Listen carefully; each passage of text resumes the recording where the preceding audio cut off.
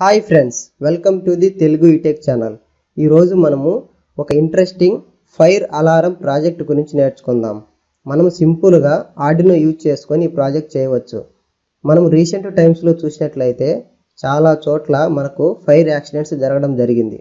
ఈ విధంగా జరగడం వల్ల చాలామందికి ప్రాణ నష్టం ఆస్తి నష్టం జరుగుతుంది. అలా కాకుండా ఫైర్ జరిగిన వెంటనే మనము ఈ విధంగా ఫైర్ అలారం సిస్టమ్ తోటి కనిపెట్టడం వల్ల ప్రాణహానిని మరియు ఆస్తి నష్టాన్ని అరికట్టవచ్చు. మనము ఈ విధంగా సింపుల్గా స్టూడెంట్స్గా లేకపోతే ప్రాజెక్ట్స్ చేసే వ్యక్తిగా ఇంట్రెస్ట్ ఉన్న వ్యక్తిగా మనం ఈ విధంగా సింపుల్ ప్రాజెక్ట్స్ని డెవలప్ చేసి మనకు ఎక్కడైతే ఫైర్ వచ్చే ఛాన్సులు ఉంటాయో అక్కడల్లా ఈ సిస్టమ్ని మనం ఇన్స్టాల్ చేసినట్లయితే మనం సింపుల్గా మనము ఈ ఫైర్ జరిగినప్పుడు ఈజీగా కనిపెట్టి మనము బయట ప్రాంతాలకు తొందరగా వెళ్ళిపోవచ్చు. కాబట్టి ఈ ప్రాజెక్ట్ మనం సింపుల్గా ఎలా తయారు చేయాలో నేర్చుకుందాం. ఫస్ట్ ఈ ప్రాజెక్ట్కి కావలసినటువంటి మెటీరియల్స్ ఏంటో చూద్దాం. మనకు కావలసిన కాంపోనెంట్స్ ఒక ఫ్లేమ్ సెన్సారు అదేవిధంగా ఒక ఆర్డినో యూనో బోర్డు మరియు ఈ బజర్. బజర్ అంటే మనకు ఎక్కడైతే ఎక్కువ పబ్లిక్ ఉంటారో అక్కడ ఈ బజర్ని పెట్టినట్లయితే మనకు సౌండ్ ఎక్కువ మందికి వినిపిస్తుంది. వారు తొందరగా అప్రమత్తం అవుతారు అదేవిధంగా ఇక్కడ మనం ఎల్ఈడి చూసినట్లయితే ఎల్ఈడి కూడా మామూలుగా మనకు ఎక్కడైతే మనము ఎన్క్లోజ్డ్ ఏరియాలో ఉంటాం అప్పుడు ఎల్ఈడి సడన్గా మనకు ఎల్ఈడి అనేది గ్లో అయినట్లయితే అప్పుడు కూడా ఫైర్ వచ్చినట్లు మనము కనిపెట్టడానికి ఎల్ఈడి కూడా మనం ఫిక్స్ చేయవచ్చు ఒక ఇండికేటర్గా అదేవిధంగా మనం ఈ బజర్ని కూడా ఫిక్స్ చేయవచ్చు. ఇంకా మనము ఎల్సిడి డిస్ప్లే లేదా ఏదైనా ఎల్ఈడి డిస్ప్లే పెట్టి అందులో కూడా ఫ్లేమ్ వస్తుందని మనం చూపించవచ్చు. మనం ఈ ప్రాజెక్ట్లో సీరియల్ మానిటర్లు అంటే ఆడినో యొక్క సీరియల్ మానిటర్లో కూడా మనము ఫ్లేమ్ యొక్క టెక్స్ట్ని మనము ప్రింట్ చేస్తాము. మనం ఇక్కడ చూసినట్లయితే ఇప్పుడు ఏ విధంగా కనెక్షన్ చేయాలో అదేవిధంగా ఫ్లేమ్ సెన్సార్ యొక్క వర్కింగ్ ప్రిన్సిపల్ ఏంటో కూడా మనం ఇప్పుడు నేర్చుకుందాం. మీరు ఇక్కడ చూసినట్లయితే ఎప్పుడైతే ఇక్కడ ఫ్లేమ్ అనేది ఇక్కడ మనకు కనిపించే సెన్సార్ ఉంది కదా ఇక్కడ సెన్సార్ అనేది మామూలుగా మనం బేసిక్గా సెన్సార్ అనేది ఎలా వర్క్ చేస్తుందో మనకు తెలియాలి. అసలు సెన్సార్ అంటే ఏమీ ఉండదు. మామూలుగా మనకి ఏ విధంగా అయితే బయట బాహ్య ప్రపంచం అంటే టెంపరేచర్ కానీ లేదా హ్యూమిడిటీ కానీ ఏదైనా కానీ మన సెన్సార్కి తగిలిన వెంటనే ఏమవుతుందంటే ఆ రెస్పెక్టివ్ కాంపోనెంట్స్ని బట్టి లోపల రెసిస్టెన్స్ అనేది చేంజ్ అవుతుంది. ఈ విధంగా ఈ సెన్సార్ యొక్క మెయిన్ ప్రిన్సిపల్ ఏమిటి అంటే ఫ్లేమ్ సెన్సార్ యొక్క మెయిన్ ప్రిన్సిపల్. ఎప్పుడైతే మనకి ఇక్కడ లైట్ లేదా వేడి అనేది మన యొక్క సెన్సార్కి ఇక్కడ ఈ ఫోటో డిటెక్టర్కి తగులుతుందో అక్కడ ఉన్నటువంటి ఫోటాన్స్ అనేటివి ఎనర్జీ పొంది మనకు కరెంట్ పాస్ అవడం వల్ల మన రెసిస్టెన్స్ అనేది చేంజ్ అవుతుంది. ఎప్పుడైతే రెసిస్టెన్స్ చేంజ్ అవుతుందో మనకు దానికి అనుగుణంగా మనకు అవుట్పుట్ అనేది వస్తుంది. ఈ విధంగా ఎప్పుడైతే మనకి ఇక్కడ నార్మల్ కండిషన్స్లో ఉన్నటువంటి రెసిస్టెన్సు ఎప్పుడైతే మనకి లైట్ ఇస్తామో అప్పుడు రెసిస్టెన్స్ అనేది చేంజ్ అవుతుంది.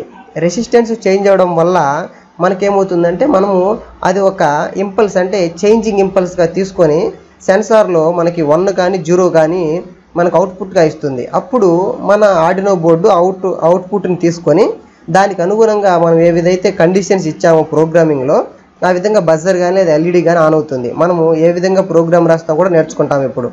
మనం ఇక్కడ చూసినట్లయితే ఇక్కడ మీకు కనిపిస్తుంది కదా ఇది వేరియబుల్ రెసిస్టెన్స్ అంటే మనకి ఎంతవరకు వేడి వస్తే చేంజ్ అవ్వాలి కూడా మనం నిర్ణయించుకోవచ్చు. అంటే ఒకవేళ మనకి ఏదో చిన్న ఫ్లేము లేకపోతే ఎక్కువ హాట్గా ఉంటుంది వేడికి అప్పుడు మళ్ళీ మనకు బజర్ మోగితే ఫైర్ రాకపోయినా మనకు తప్పుగా ఫాల్స్ అలారం వస్తుంది. కాబట్టి ఏం చేయాలంటే మనం మామూలుగా ఒకసారి ఫైర్ పెట్టి ఆ ఫైర్ టెంపరేచర్ ఎంత ఉంటుందో దానికి అనుగుణంగా ఈ వేరియబుల్ రెసిస్టెన్స్ని మనం ఇక్కడ ఇక్కడ కనిపిస్తుంది కదా? ఇక్కడ మనం స్క్రూ డ్రైవర్తో దీన్ని ఒకసారి అలా వేరీ చేసామంటే దానికి అనుగుణంగా ఫస్ట్ సెట్ చేసుకొని మనం పెట్టాలి. ఎప్పుడైతే సెట్ చేసుకొని పెడతామో ఎప్పుడైతే ఫైర్ వస్తుందో అప్పుడు మాత్రమే ఆన్ అవుతుంది. లేకపోతే మీరు తప్పుగా పెట్టినట్టయితే మామూలుగా సన్లైట్ కూడా ఆన్ అయిపోతుంది. కాబట్టి అది తప్పు కాబట్టి మనం కరెక్ట్గా ఆ రెసిస్టెన్స్ని మార్చుకోవాలి. అదేవిధంగా ఏం చేస్తుందంటే ఏ విధంగా అయితే ఈ రెసిస్టర్ వాల్యూస్ చేంజ్ అవ్వడం వల్ల వచ్చినటువంటి వాల్యూస్ మనం అవుట్పుట్ వన్ ఇవ్వాలా జీరో ఇవ్వాలా అటువంటి ప్రాసెస్ అన్ని చేసేది ఈ మైక్రో ప్రాసెసర్ అనేది చేస్తుంది.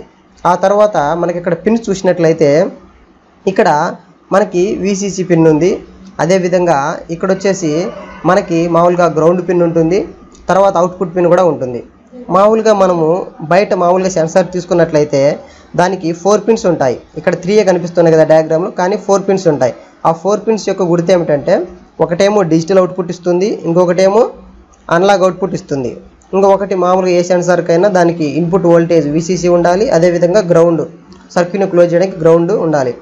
ఈ విధంగా మీకు ఇప్పుడు అర్థమైందా? సెన్సార్ యొక్క వర్కింగ్ ప్రిన్సిపల్. అదేవిధంగా ఇందులో ఉండే variable distance photo diode micro processor దీనికి ఉండే పిన్స్ ఓకేనా?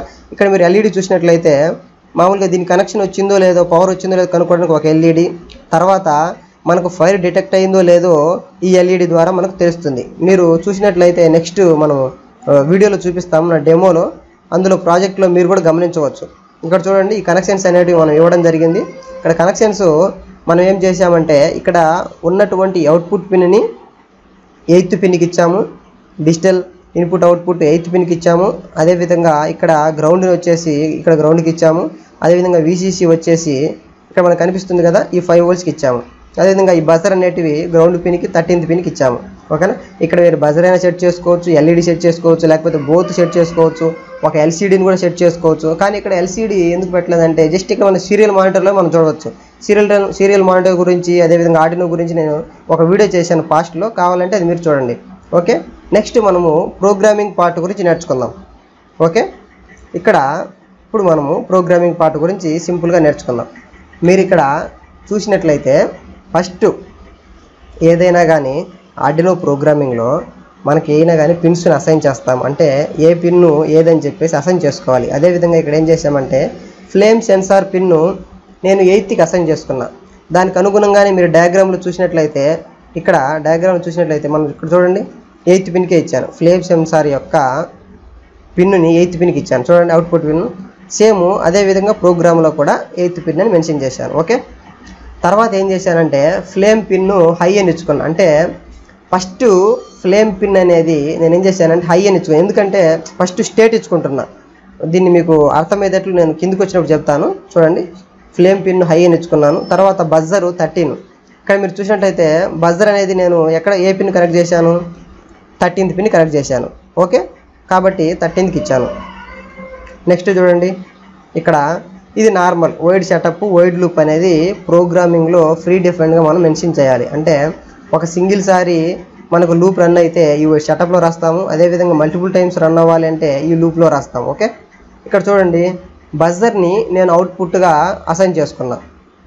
ఓకే? ఎందుకంటే చాలామంది ఇంత స్లోగా ఎందుకు చెప్తున్నానంటే చాలామంది ప్రోగ్రామింగ్ కొత్త. కాబట్టి వాళ్ళు నేర్చుకోవాలనే ఉద్దేశంతో ఇలా స్లోగా చెప్తున్నా. Pin mode. మనకి ఇక్కడ ఇవన్నిటివి ఇవన్నీ డిఫాల్ట్గా మనం నేర్చుకోవాల్సినటువంటి కీవర్డ్స్ ఓకేనా? ఫంక్షన్స్ ఇవన్నీ. పి మోడ్లో బజర్ కామ అవుట్పుట్ బజర్ని అవుట్పుట్గా తీసుకున్నాను. బజర్ అంటే ఏం లేదు. ఇక్కడ పిన్ ఇచ్చాక thirteen pin thirteen pin output next pin mode flame sensor pin comma input. అంటే ఇక్కడ ఎయిత్ పిన్ ఉందా ఎయిత్ పిన్ని ఇన్పుట్గా తీసుకున్నా. ఇక్కడ సీరియల్ డాట్ బిగిన్ అంటే మనకు సీరియల్ మానిటర్ని మనము ఇక్కడ మీరు చూసినట్లయితే ఇక్కడ కనిపిస్తుంది కదా ఈ సీనియర్ ఈ సీరియల్ మానిటర్ని మనము బిగిన్ చేయాలి. అంటే అందులో మనకు అవుట్పుట్ రావాలంటే ఫస్ట్ దీన్ని మనం బిగిన్ చేయాలి ఈ బార్డర్ రేట్తో. నైన్ థౌజండ్ సిక్స్ హండ్రెడ్ అనేది ఒక బార్డర్ రేట్ ఓకేనా? అక్కడ మనం సెట్ చేశాను ఓకే? ఎంత ఫాస్ట్గా రావాలనేది. తర్వాత లూప్లో మనం ఏ ఏం రాస్తున్నామంటే అంటే ప్రతి ఒక్కసారి రీడ్ చేస్తూ ఉండాలి. ఎప్పుడైతే ఫ్లేమ్ వస్తుందో అప్పుడు అది రీడ్ చేసుకోవాలంటే మనం లూప్ అనేది రన్ అవుతూ ఉండాలి. అందుకని వైడ్ లూప్లో రాస్తున్నాము. ఫ్లేమ్ పిన్ ఇప్పుడు ఏం చేస్తున్నామంటే flame pin equal to digital read comma flame sensor pin ఇక్కడ ఫ్లేమ్ సెన్సార్ పిన్ అనేది ఎయిత్ పిన్ కదా.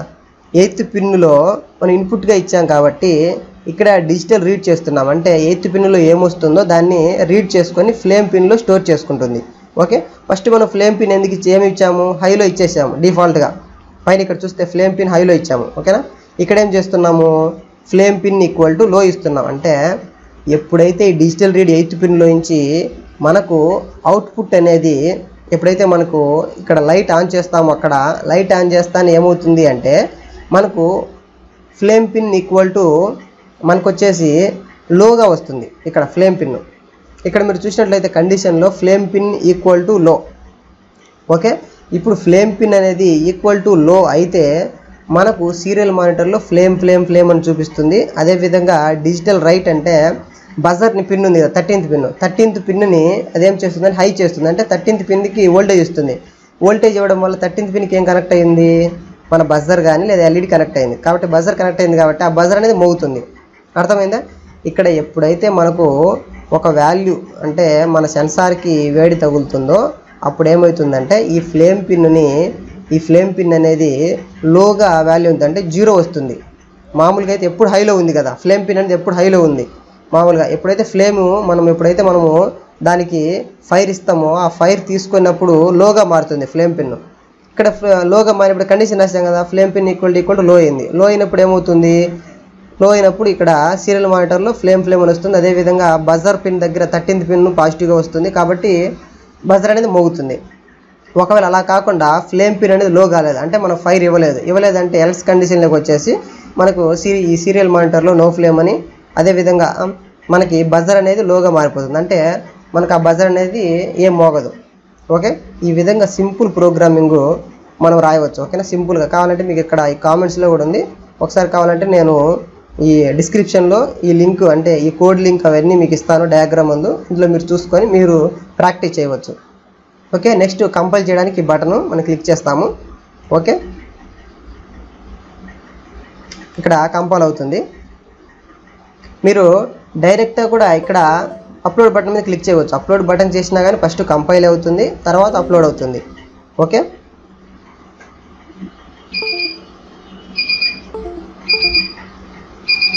okay? ఇప్పుడు అదేమైందంటే కంపైల్ అయిపోయింది. చూడండి డన్ కంపైలింగ్ అని పడింది నెక్స్ట్ అప్లోడ్ మీద క్లిక్ ఇవ్వండి. చూడండి. ఇప్పుడు అప్లోడింగ్ అని పడుతుంది. చూడండి డన్ అప్లోడింగ్ అంటే అప్లోడ్ అయిపోయింది. ఇప్పుడు మనము మన యొక్క అవుట్పుట్ని చూద్దాం. ఇప్పుడు మీరు మన సర్క్యూట్ని ప్రాక్టికల్గా చూడండి. నేను ముందుగా సర్క్యూట్ డయాగ్రామ్ చూపించాను ఇమేజ్లో ఆ వీడియోలో మీరు సర్క్యూట్ డయాగ్రామ్ చూసి అదే విధంగా కనెక్ట్ చేయండి.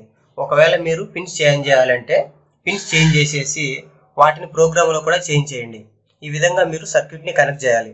నేను సర్క్యూట్ని కనెక్ట్ చేసి అప్లోడ్ చేసిన తర్వాత ఈ విధంగా మనకు చూపిస్తుంది. ఇక్కడ రెడ్ లైట్ ఈ విధంగా మీరు ఇక్కడ చూసినట్లయితే ఇక్కడ మనకు ఇక్కడ రెసిస్టెన్స్ కూడా కనిపిస్తుంది. ఇది variable resistance we can change ఈ విధంగా ఇక్కడ బజర్ కూడా నేను ఉంచడం జరిగింది. ఈ విధంగా మన ఆర్డినో బోర్డు ఆర్డినో బోర్డులోకి ప్రోగ్రామ్ కూడా అప్లోడ్ చేయబడింది. కాబట్టి మనం ఇప్పుడు మన డెమో చూద్దాం. అంటే మన రిజల్ట్ అవుట్పుట్ని చూద్దాం. ఇక్కడ మీరు చూసినట్లయితే ఇది లైటర్.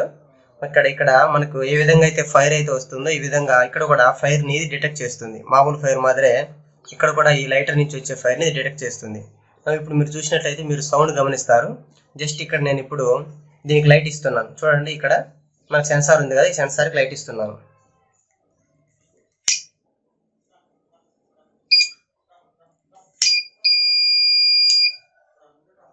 చూశారు కదా?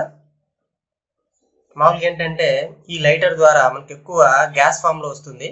మనకు మామూలుగా మీరు మ్యాచ్టిక్ మామూలుగా మీరు అగ్గిపుల్ని యూజ్ చేసినట్లయితే మీకు బాగా అవుట్పుట్ కూడా వస్తుంది. ఇక్కడ చేసేటప్పుడు కొద్దిగా జాగ్రత్తగా చేయండి. చూడండి. We're getting that buzzer sound మనకి ఇక్కడ బజర్ సౌండ్ అనిపిస్తుంది మళ్ళీ చేసి చూపిస్తామండి చూడండి. ఈ విధంగా మనకి ఈ బజర్ అనేది మోగుతుంది. ఒకవేళ మీరు కావాలంటే ఇక్కడ బజర్ దగ్గర ఎల్ఈడి కూడా పెట్టుకోవచ్చు. ఎల్ఈడి ద్వారా ఏంటంటే ఎల్ఈడి ప్లస్ బజర్ కలిపి మనం తొందరగా మనకి ఇక్కడ ఫైర్ వచ్చేసిందని చెప్పేసి మనం కనుక్కోవచ్చు. ఈ విధంగా ఈ ప్రాజెక్ట్ మీరు సింపుల్గా ఎక్కడైనా కానీ చేయవచ్చు. జస్ట్ చూడండి ఇక్కడ కనెక్షన్స్ అన్ని. నేను క్లియర్గా సర్క్యూట్ డయాగ్రామ్లో ఏ విధంగా ఇచ్చానో అదే విధంగా ఇక్కడ ఇచ్చాను.